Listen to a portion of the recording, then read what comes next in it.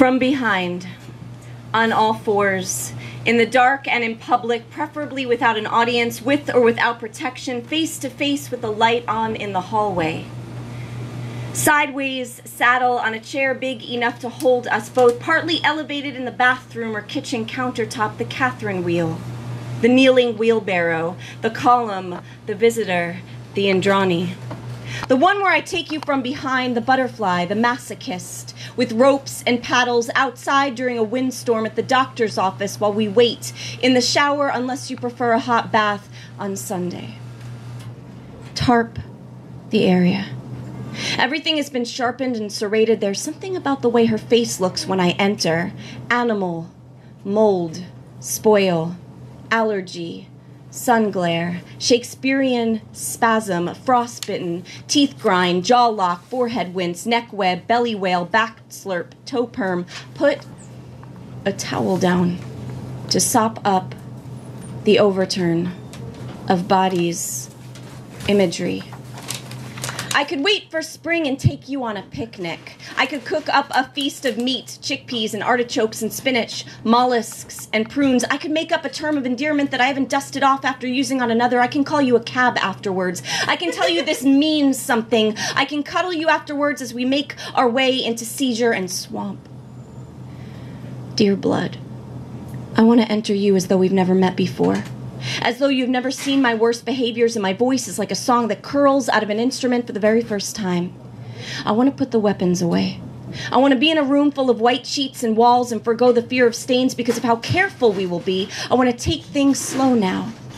Dear blood. There are shades of life in your red, and in your camouflage, you are tints of grape and berry. How about you tell me at the time you were most afraid? It cannot possibly be claustrophobia dear body, you have been mispronouncing me all along. I fear your fingers unwashed and greedy.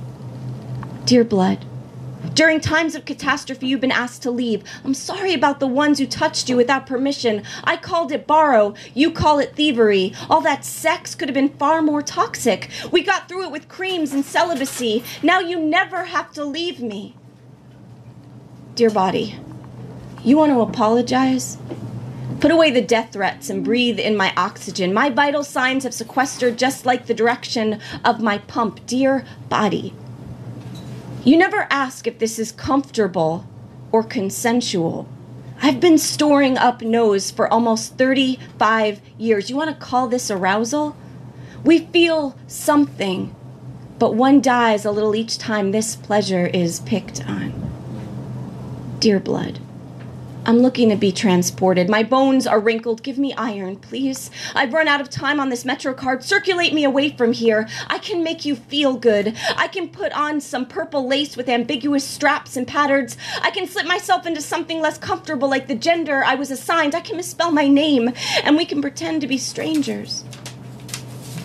Dear body, each carving attempts to set me free, but maybe I want this imprisonment. Maybe I long to be held inside. Maybe I am not looking for air. Dear blood, I can wash my hands first. I can put a condom over this razor blade. How about I run a bath for us so when I fist my way toward your waterfall, we can practice our strokes? How do you prefer your casket? Porcelain or tree flesh? Whoa.